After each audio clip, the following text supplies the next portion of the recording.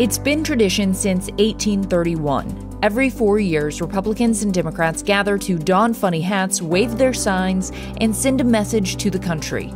We're unified, we're ready, let's go to the fall campaign. In a normal election year, thousands of delegates would travel to their party's convention to vote on procedural rules, adopt a party platform, and officially name the presidential and vice presidential nominees.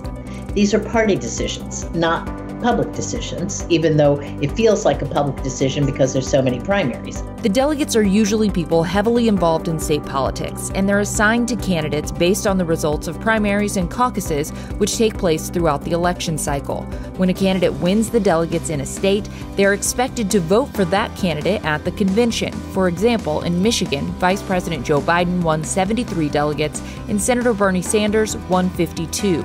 To secure the nomination, a candidate must win the majority of delegates. This year, President Trump is essentially a shoo in, but the Democratic candidate will need a total of 1,991 delegates to win the nomination. If no one reaches 1,991 on the first vote at the convention, there would be a second vote. In between votes, campaigns would wheel and deal on the convention floor, trying to convince delegates to support their candidate. That would be real drama. That would be drama in real time. But we haven't seen that kind of drama recently. There hasn't been a real nomination fight on the convention floor in decades. These days, by the time the conventions roll around, we already know the nominees.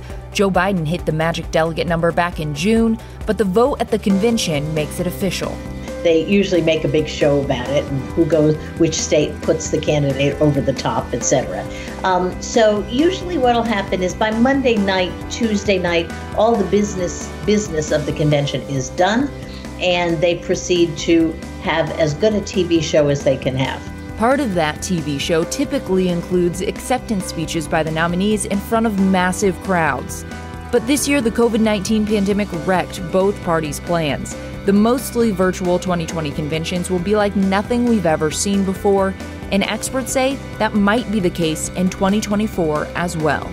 For a number of years, people have said that these conventions needed change. The coronavirus pandemic is forcing the parties to rethink what had become something of a staid tradition. And I think we will see in future years um, a different looking national party convention.